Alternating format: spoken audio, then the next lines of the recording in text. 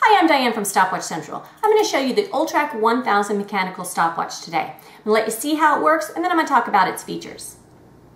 So this is the Ultrak 1000 mechanical stopwatch. It's so simple to use. This button in the middle starts and stops it and this button over on the left resets it. So I'll show you.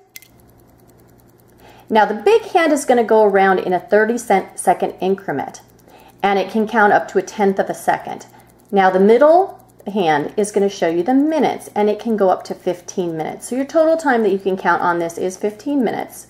So let's just demonstrate stop and then it's a spring back with that reset.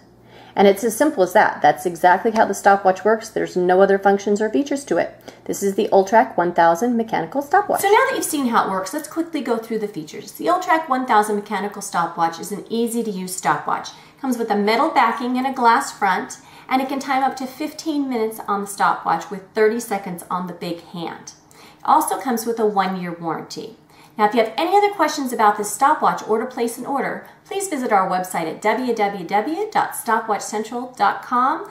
We hope you enjoyed the video and would love for you to join our YouTube channel. That way, as these new videos come about, out about the stopwatches, you'll be one of the first ones to see it. So please join us. Thank you very much and have a great day.